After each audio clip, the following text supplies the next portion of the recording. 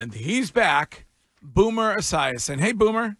Hey, good morning, man. Are you ready for a long year? Uh, Unfortunately, I believe that this is our sixth season together. Is that possible? I, I, I can't believe time is flying by. I will say for me, this is year 22 doing something in Boston radio, Wow. whether it be with you guys, WEEI, or with Wow. the other station. And uh, I'm certainly happy to be with you and Courtney. I just wish Jermaine would show up on time. He just he lives in Come the on, city. Boomer. He just oh, he literally he just walked in. He lives in the city, but he can't get here on time. Nobody gave me the memo that the time changed. Okay, yeah, we did, but that's all right. you don't need a memo. It hasn't changed for five freaking years, man. We gave you, we put it in email form, and then that you, what it is? and then you used it to roll something up and smoke something. What's an it. email? Uh, it's- You know, you know, the amazing thing is that Bill Belichick just wouldn't talk to him for two weeks. that, that's what would happen if he was late to a meeting or, or didn't show up for some reason. congrats on your new deal, by the way. Yeah, thank you very much. And uh, I'm very happy here at WFAN. And uh, I finally get my weekends off. No longer going to be a part of the NFL today, which I'm okay with. And Yeah. I was okay with towards the end of last year. But be the first time in 38 years that I'm actually going to have fall weekends. I haven't had fall weekends and you know and, uh, and and real vacations for Thanksgiving and things of that nature, as opposed to having to go to the studio. The amazing thing to me going into this year, and I was thinking this to myself because I've been doing this for 22 years. I've been doing the NFL today for 22 years. WFAN. I started my 18th year. Bill Belichick started coaching in the NFL in 1974. this is the first time in 50 years that Coach Belichick will not be standing on a sideline or sitting up in a booth. Amazing, right? But It is- it's crazy. He certainly is is taking any and all offers that come his way. I would too if I were him. Why not? I mean, you know, get out there, show people your personality, and I don't care about his personal life, any of that stuff. All I care about is that this is the greatest coach in, in the history of the sport that we all love and the, the league that we all love. And you know, he'll be he should be back on the sideline next year. I don't know where, uh, but he better be back on the sideline next year, unless he's having too much fun not coaching. Well, I asked this earlier, but I'll ask you: by mid-season, who do you think is better at their new job, Bill Belichick or Tom Brady? That's a that's a good. You know, I think it's going to be harder for Tom Brady simply because you know, while fans, most fans, I think most fans, uh, and I speak as a fan myself, do respect what he accomplished as a player. This is the you know the goat. Of, this is uh, a guy that won Super Bowls in multiple cities, multiple coaches. I mean, all of that part of the resume speaks for itself. But doing games is going to be interesting. You know, he has a unique voice. It's going to take a while to get used to that. Um, I think that there's going to be a little bit of, you know, getting used to being in real time, talking about football in real time, and and whether or not he's going to be, uh, I guess, criticizing the coaches and their calls and the players and their plays. That's yet to be seen. But um, I, I kind of think Bill has an opportunity to be really good because it's a different format. He's not calling games. Tom's got to call games. And he's got to get used to it. And I'm sure there are a lot of fans uh, that root for the Jets or that are not going to be looking forward to him doing games. I can say that too. Well, things up here may be a little miserable this season. Um, are are you surprised that Jerod Mayo is going with Jacoby Brissett week one? Boomer. Not at all. And I think it's the right move. Um, and the reason I say that is because I've watched quarterbacks get thrown to the wasteland down here in New York. I mean, they've had three first round picks Mark Sanchez, Sam Darnold, and of course, Zach Wilson. And there's been very little great success. There was a little bit of a modicum of success with Mark Sanchez, who took the team to two AFC championship games, but it wasn't because of him. It was because of the defense, the running game, and Rex Ryan. So um, I, I would hate to see Drake Maye get behind this offensive line uh, against the Cincinnati Bengals in Week One, or for that matter, anytime in the first five or six weeks. I, I, I want him sitting on the sideline, learning and seeing, and not having his career ruined before it even gets started. Five or six weeks? It may it, listen. Jacoby Brissett is probably going to get hurt in the first two weeks, and I don't mean to say that to be funny, but it's just the reality of the league, and it's the reality of who Jacoby is. You know, Jacoby uh, is uh, you know he tends to get hurt, and uh, that that may open a door for Drake Maye earlier than I would like. But I look, Jerod has been around Bill Belichick for five years as a coach, played for him as a player uh, knows what a quarterback is supposed to look like because he played with the greatest of all time. And he may see that in Drake Maye right now, but he also knows that, you know, Tom Brady didn't start right out day one. Aaron Rodgers didn't start at day one. Carson Palmer didn't start out day one.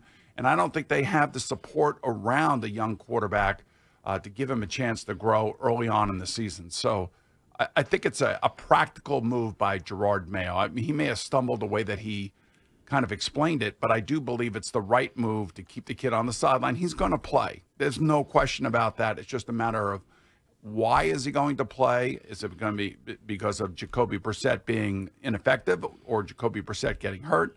But, you know, this is not a team built to support a rookie quarterback right now. This is not the Bears that Caleb Williams is stepping into. This is not, you know, the Texans that CJ Stroud stepped into last year. This is a team in total rebuild mode who probably has a bottom four, uh, you know, skill position group around him out of the 32 teams in the NFL. You bring up your Jets. Uh, the outlook for this season is all over the place, depending on what anonymous poll you follow. Uh, in New York, what are the whispers? What is what are you guys expecting out of Aaron Rodgers? Is this going to be another tough Jets season? I, I hope not. I pray to God it's not. I mean, you know, last year was just like pulling teeth, and you know, I'm hoping that Aaron is healthy. If he's healthy on paper, they're really good. They are a really good team. They are they are definitely a top ten team as we start this season. I just don't know what to expect from their offense.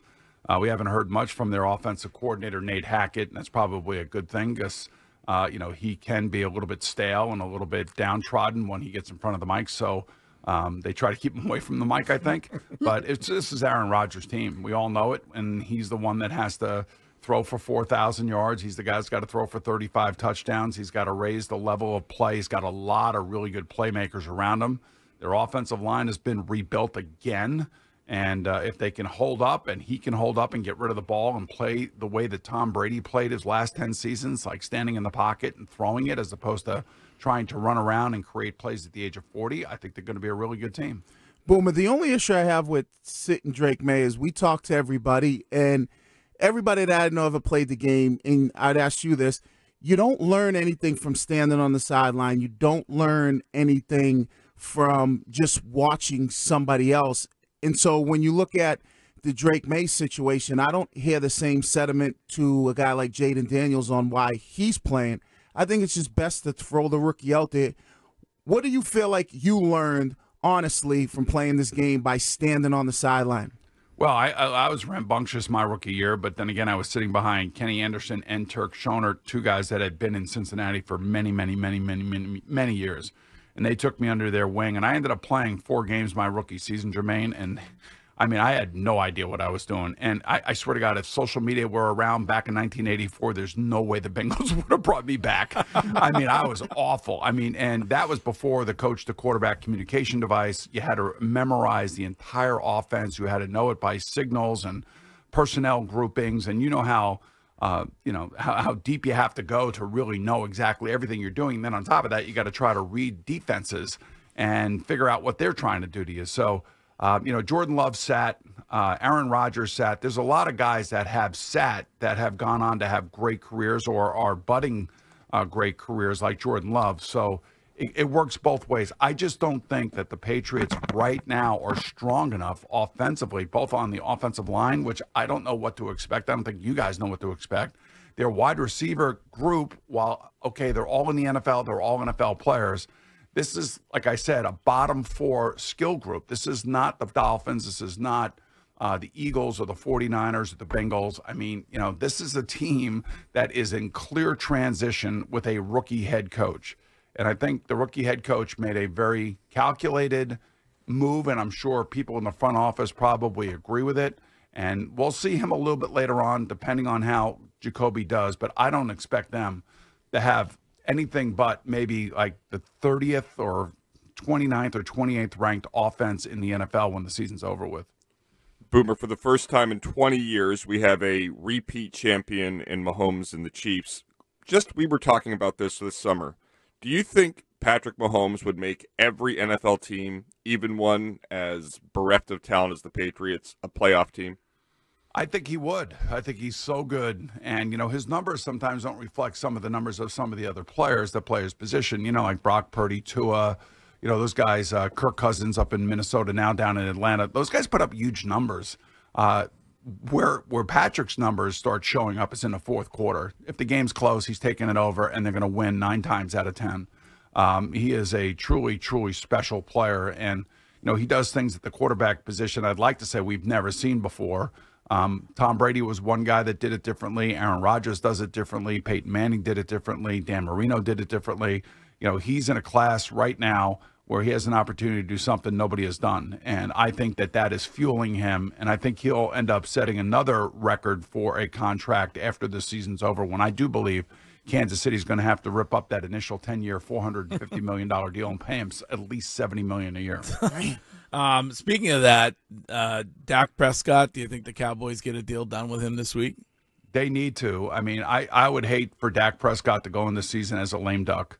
Uh, he doesn't deserve it. I, you know, I don't know what the alternative is for them. I mean, you know, he and CeeDee Lamb are a special combination. They put up huge numbers. Yeah, and I know that they have failed in the playoffs. I, I totally understand that. A lot of that is not Dak's fault. Some of it is injury, much like what happened to Miami at the end of last year. But I, I am a big fan of Dak Prescott. I believe he's a top 10 quarterback in the NFL, and I believe he's the great face of that franchise. You know, think about that franchise for a second. You know, the, the, ownership's crazy, right? So he's all over the place. He's out there giving interviews. He gives he's got his own radio show like I do right here with you guys. I mean, this is an owner of the NFL team, and he's doing this every freaking week. And he's over, you know, he's talking over the coach, talking over the quarterback. I mean, pay the guy, keep the guy for the next five years. You have a good team right now. You're not going to be able to get one of these quarterbacks at the top of next year's draft because you know, they'll have at least 10 wins this year. So that means they're going to the playoffs, I believe, assuming that Dak doesn't get hurt. But um, I would pay him. I would keep him, and I think he's the great face of that franchise. Well, I, I think you're you're probably spot on about that, Boomer. The biggest question is always the coach in Dallas.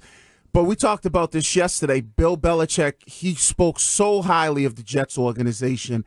I know the expectations in New York got to be for the Jets. Hey, we got to get to the AFC Championship or bust any chance. We, you talked a little bit about it that we see Bill Belichick wearing a Jets, you know, hoodie next season because Aaron Rodgers in the window for the Jets is is is closing.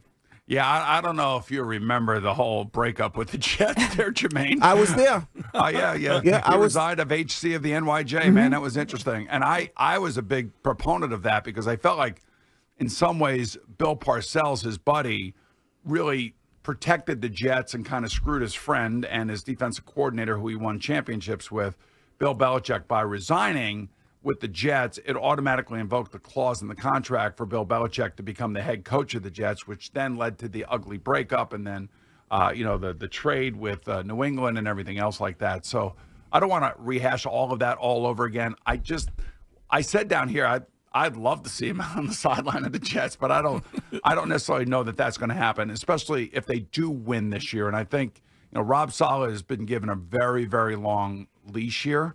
Uh, he's had quarterback problems, he's had uh, injury problems, and the fact that he's still a coach after three years and a losing record is really quite amazing to me. But I think the Jets have been trying to find stability, and I think this year is the year that they're going to go to the playoffs. They're not going to go to the Super Bowl. I'm not picking them to go to the Super Bowl. I don't, I don't know how anybody beats Kansas City uh, with Andy Reid and, and, Patrick Mahomes. You know, they're they're just gonna they're just gonna steamroll. I think, and they they added offensive speed uh, to their juggernaut offense already, so they, they should be tough to beat. But for the Jets and Bill Belichick, I don't you know I don't see it. I would see maybe more the Giants than the Jets, depending on how the Giants look this year. And I I don't necessarily know they're going to have a great year either. All right. Time for the question of the week for Boomer, presented by McFarland Energy, the region's most dependable provider of home heating oil delivery and expert HVAC services at McFarlandEnergy.com. Assuming that the Patriots unfortunately finish last in it, how do you think the division stacks up, Boomer? I would say right now, I, I think that I think the Jets have a, a chance to win the division based on the fact that they have really young, great star offensive players and they have a top five defense. Now, M- Miami has maybe either the first or second best and fastest collection of skill players on offense, but I think their defense is probably going to be middle of the road. And Buffalo is like, you know, led by Josh Allen, a younger team that's kind of rebuilding around their superstar quarterback. So I think I, I could see the three teams at the top of this division splitting their games and I could see the Patriots not winning one or maybe winning one within the division. So I'm going to go Jets, Dolphins, Bills, Patriots. Okay. And then it I mean, season starts tomorrow night, so I'll get you on record as we always do. Who who do you got in the Super Bowl? I got I got Kansas City and uh, Detroit. Oh, Oh, I like that. Really? I like yeah, well, you know, think about Detroit for a second. Now they have to play indoors because Jared Goff outside is not great. He's got a little bit of a noodle for an arm outside. Inside, you know, he can play. He's accurate. He's smart. He's going to have more responsibility supposedly in Ben Johnson's offense this year. Uh, they got the best offensive line in football. They got uh, tremendous wide receivers. Jahmyr Gibbs is a hell of a running back. Um, they remind me of the Atlanta Falcons. Now, the Atlanta Falcons have has they have cousins down there, and it's interesting that they didn't really play Michael Penix Jr. in preseason because they were wowed by him in practice and on the field, and they don't want to start a quarterback controversy after guaranteeing Kirk Cousins a hundred million dollars.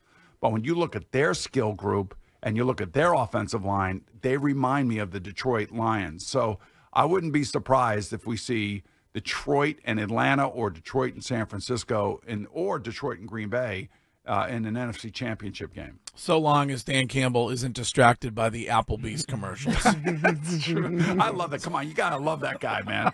I mean, let, let me ask you. Let me let me ask you all this one question: Who is your favorite NFL coach in the NFL right now to listen to and cover on a daily basis? I, it has to it probably has to be Dan Campbell.